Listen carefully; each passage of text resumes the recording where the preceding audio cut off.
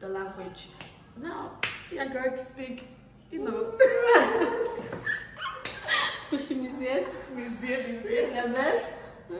Alhamdulillah. Oh my god. Hey, what's up? Hey, You can of come you sit in love. Hmm. Hey, come and sit.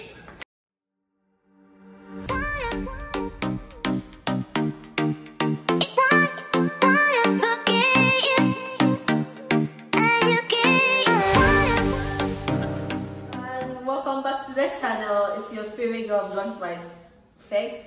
Back again with another video, and today I'm featuring my favorite YouTuber now in Morocco. Okay, one of my favorite YouTubers now in Morocco. Because the people are going to be like, yeah, like oh, I already have a favorite YouTuber. Yeah, so she's from Liberia.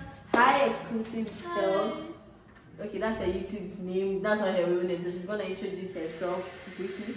So hey guys, um, I'm exclusive Felt and I'm from Liberia, but my real name is Felt.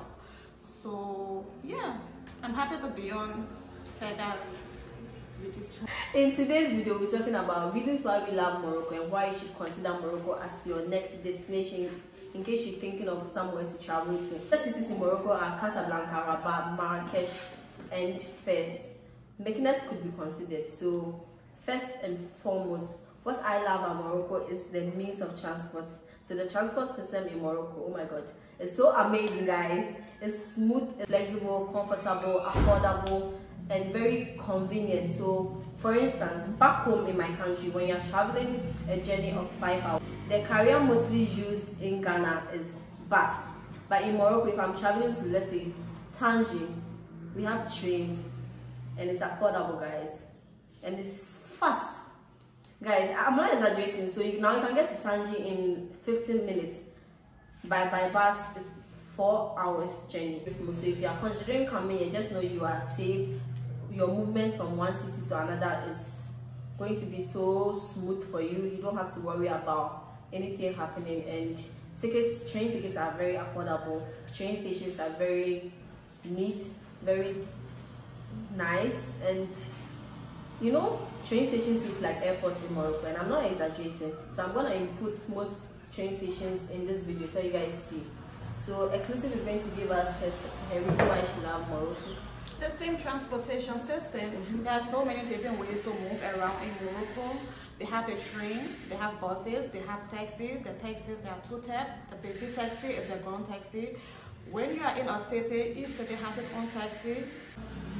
The transportation system, there are so many ways to move around in Morocco. They have buses, they have trains, city tram, they have taxis. The taxis, they have two types. They have the petit taxi and then they have the grand taxi. The grand taxi within the city is five dirhams.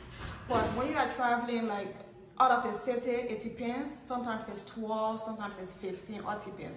And the buses too, they have the bus for the city and then they have buses that can travel out of the city. So within the city, it's the same five dirhams. But when you are traveling out of the city, it depends on the the city that you are traveling to. For example, if you are leaving from Kenitra to Rabat, sometimes it's like I think 10, 15 dirhams in the bus, right? So yeah, mostly petit taxis use the control the meter. So wherever you are going is determined how much like the meter determines how much you're gonna pay for. That's something that yeah, the price is not fixed, which is really good Yeah. because you know back in home in our countries most of us they charge you it's fixed. You are going to pay let's say a 10 cedis and that is it. No bargaining no but in morocco you just know oh the meter is going to read for me and i know i'm going to pay less than a 10 dirhams wherever i'm going so for instance in kenitra wherever you're going in the central ville is 7 dirhams which is really cool but outside the central ville you pay more than that determined by The the counter. the counter controller It's the meter. same thing.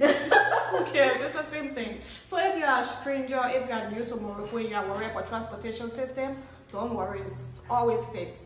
Always fixed. Mhm. Yeah. You don't have to worry if they're going to steal from you or they are going to add more money on the transport.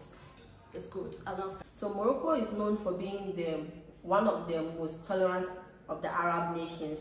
The people are stable, they are friendly, they are supportive. So I think most of you have seen in my videos, anytime I'm I'm vlogging outside, they willingly say hi in my videos, they really smile to me and they start speaking they reach out to me. So that's another reason why I love Morocco. The people are so welcoming. So in case you are wondering if you're going to be safe in Morocco, trust me, they are so friendly, they are stable, they are welcoming, and you don't have to worry about being I don't know. Like, oh welcome. Yeah, or welcome. They open they open their arms to everyone. So another reason why I love Morocco, which is how friendly and stable they are. Every Friday, my house neighbor a Moroccan gives me couscous. Really? So today I'm waiting for the couscous. We have never received couscous at our house. Ramadan Kareem, I'm waiting for it at 7 o'clock when they break their fast. That's nice. I, I want neighbors like that to bring me couscous.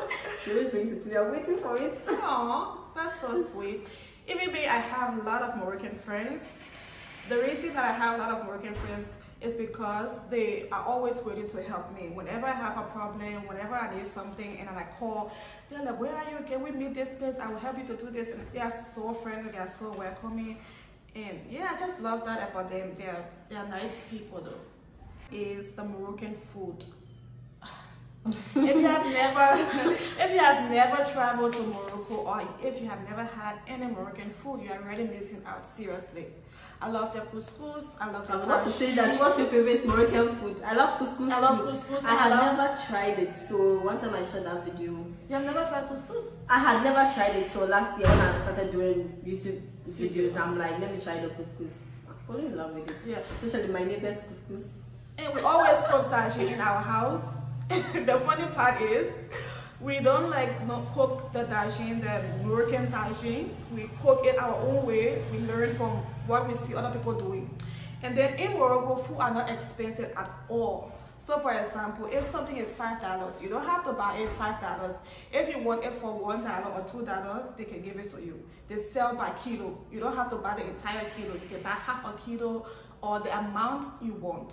So that is one thing I really love about Yusuf has said almost everything, but I think four major foods you should try when you're in Morocco is the couscous, tagine, uh, some street food also, what's it called, milwi, uh, kafta, Pastilla. Yeah. I love pastilla. Just to mention a few, you should try these foods when, when in Morocco because Morocco is known for good food also. When people are talking about development, they mean security. Like if the country can be developed but you don't have security. But one of the things I really love about Morocco is the security system too. You know, you can leave your you can leave your house at 10, 11, 12 and you are 100% safe. And one thing again that I love about Morocco is their plain clothes security. You don't know that they are security, But they are there. they are there. So you always feel safe. For me, that's one thing I like about Morocco too. You always feel safe. You can travel, you can go out, and you can always find taxis at any time in Morocco too. Yeah, especially in Marrakesh. Even at 4 a.m., you're, you're going to find a taxi. So if you go out, you don't have to worry like, oh my god, when am I gonna get home? Can I find taxi? trains Yeah. are available if 12 a.m. going so that's one thing we love about morocco how developed the country is so this topic in when i was coming to morocco a lot of people thought i was coming to a war zone country and they were so scared. But to my surprise i feel safe in this country much more than me being safe in my own country. I don't know why. If you are watching this don't judge but that's the honest truth. Morocco is so peaceful and it's safe. Aside a little No, but every cases. country has. yeah so i think with that it's normal. But aside that trust me it's so safe and just know you are safe in this country you shouldn't worry about it tourism in case you're coming here for tourism or anything of that sort just know you're going to be safe you're in good hands Yeah. in case you happen to be in morocco just contact me i'll take you around i mean we'll take you around We'll be a tour guide, you know, we'll show you all the beautiful places. Yeah. Next thing we're going to talk about is the culture.